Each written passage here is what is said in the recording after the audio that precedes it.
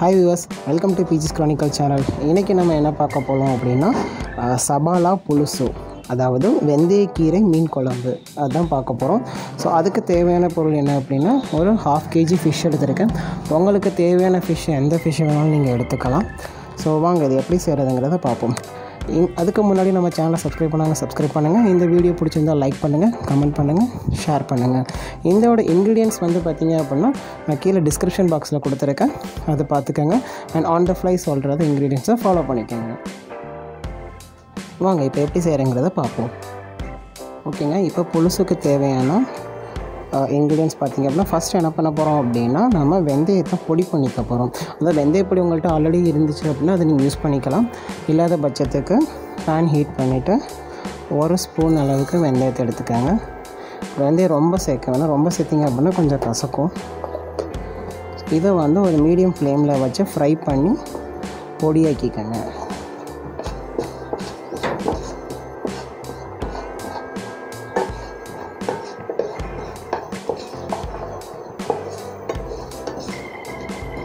So இப்போ பார்த்தீங்க அப்படின்னா வெந்தயம் வந்து நல்லா ஃப்ரை ஆகிடுச்சு இதை வந்து இப்போ நம்ம பொடி பண்ணி எடுத்துக்க போகிறோம் ஸோ இப்போ வந்து தனியாக ஒரு பாத்திரம் எடுத்துக்கிட்டு நம்ம எடுத்து வச்சுருக்கோம் இல்லையா மீன். அந்த மீன் எல்லாம் அந்த பாத்திரத்தில் போட்டு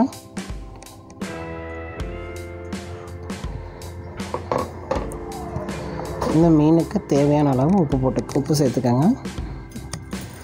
இந்த மீனை வந்து நீங்கள் வாஷ் பண்ணுறப்ப அதேமாதிரி கல் உப்பு ஸ்டோன் உப்புன்னு சொல்லுவாங்களே அந்த கல் உப்பு யூஸ் பண்ணி வாஷ் பண்ணுங்கள் அப்போ தான் அதோட ஸ்லாம் செதில்கள் இருந்தாலும் போயிடும். உப்பு ப்ளஸ் மஞ்சள் தூள் ரெண்டும் போட்டு வாஷ் பண்ணிக்கோங்க. ஸோ உப்பு சேர்த்தாச்சு. அடுத்து தேவையான அளவு மிளகாய் தூள் சில்லி பவுடர்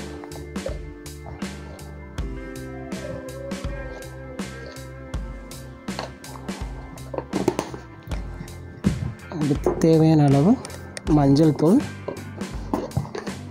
அதாவது டர்மரிக் பவுடர் ஒரு கால் டீஸ்பூன் சரிங்களா? அதுக்கப்புறம் நம்ம அந்த வெந்தயத்தை வறுத்து பொடி பண்ணி வச்சுருக்கோம் இல்லையா? அந்த வெந்தய பொடி அப்புறம் புளி கரைசல். நம்ம வந்து புளி எடுத்து அதை ஊற வச்சு வச்சுருக்கோம். அந்த புளி கரைசலை சேர்த்துக்கணும்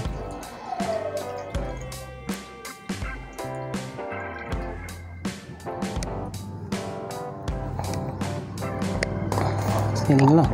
தேவைன்னா கொஞ்சம் எக்ஸ்ட்ரா வாட்டர் ஆட் பண்ணிக்கோங்க.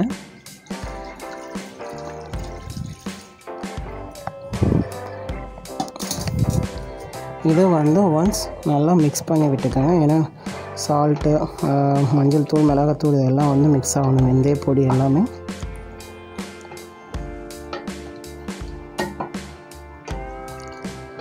இப்போ இதை மிக்ஸ் பண்ணிவிட்டு ஒரு இருபது நிமிஷம் வந்து இதை அப்படியே ஊற வைக்கிறீங்க. அதாவது இருபது டுவெண்ட்டி மினிட்ஸ் வந்து இது வந்து நல்லா சோக் பண்ணணும்.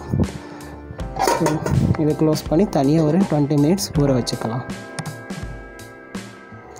ஸோ இப்போ பேன் நல்லா ஹீட் ஆனதும் ஆயில் சேர்த்துக்கோங்க. தேவையான ஆயில் நான் ஒரு ஐம்பது கிராம் அளவுக்கு நல்லெண்ணெய் சேர்க்குறேன். ஹாஃப் லிட்டர் ஹாஃப் கேஜி ஃபிஷ்ஷுக்கு எண்ணெய் நல்லா காயணும். எண்ணெய் நல்லா காஞ்சோன்னா ஃபஸ்ட்டு க்ரீன் சில்லி ஆட் பண்ணிக்கோங்க. பச்சை மிளகாய்.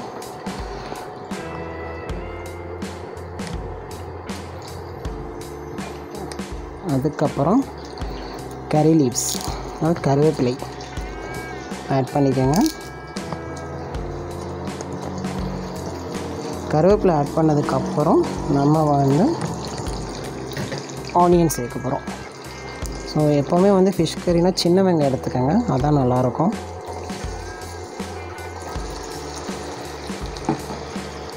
ஸோ ஆனியன் சேர்த்து நல்லா வதக்கிக்கோங்க.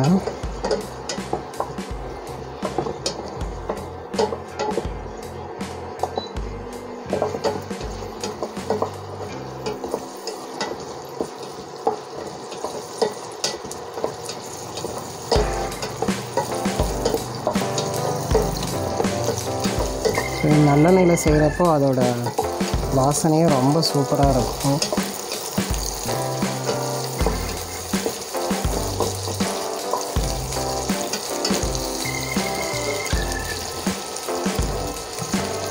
ஸோ ஆனியன் கொஞ்ச நேரம் இந்த எண்ணெயில் வதங்கட்டும்.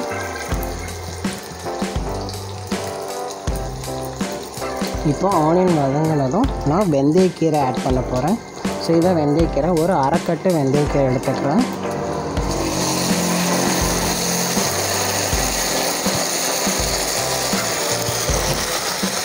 ஸோ வெந்தயக்கீரை ஆட் பண்ணி வெந்தயக்கீரையை நல்லா வதக்கிக்கோங்க.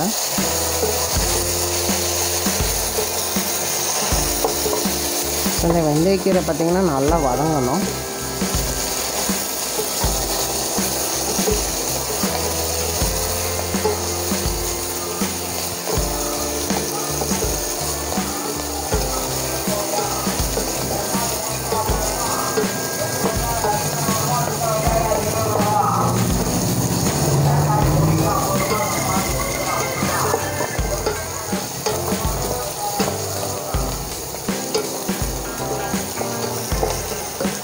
இப்போ வெந்தயக்கீரை வந்து வதங்கினோன்னே ஜிஞ்சர் கார்லிக் பேஸ்ட் ஆட் பண்ணிக்கலாம் அதாவது இஞ்சி பூண்டு விழுது.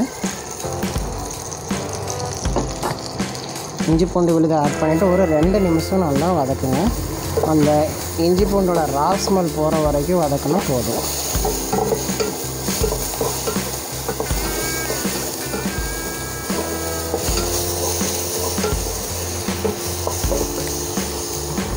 ஸோ ரெண்டு நிமிஷம் வதக்கிட்டு நெக்ஸ்ட்டு வந்து தக்காளி ஆட் பண்ணிக்கோங்க.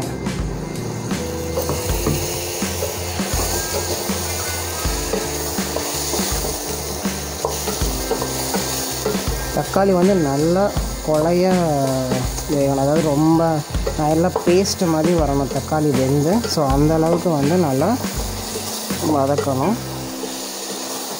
மீடியம் மீடியம் ஃப்ளேமில் வச்சுட்டு நீங்கள் கொஞ்ச நேரம் க்ளோஸ் பண்ணி வச்சிங்கனாலும் அது நல்லா வதங்கிடும்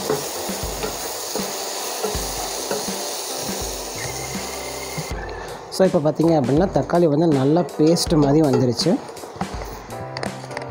இந்த டைமில் என்ன பண்ணிக்கிங்க அப்படின்னா நம்ம ஆல்ரெடி ஃபிஷ்ஷு வந்து வெந்தய பொடி அரைச்சி போட்டு ஊற வச்சுருக்கோம் இல்லையா? அதை வந்து இதில் ஆட் பண்ணிக்கங்க.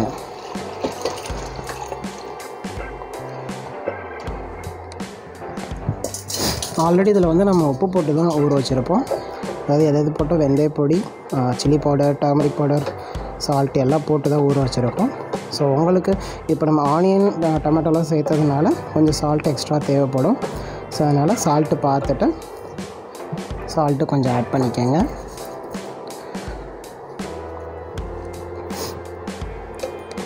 அவ்வளோதாங்க கொஞ்சம் நல்லா கொதியட்டும்.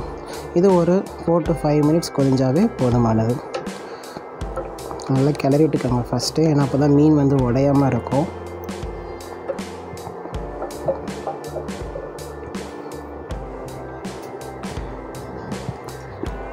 ஸோ லிட்டு போட்டு க்ளோஸ் பண்ணி வச்சுருங்க ஓகே நம்ம சபாலா புலுசும் ரெடி ஆகிடுச்சு பார்த்திங்கன்னா நல்லா கொதிஞ்ச ஃபிஷ்ஷு வந்து நல்லா பாயில் ஆகி வந்துருச்சு. ஸோ அவ்வளோதாங்க நம்ம சபாலா புலுசும் ரெடி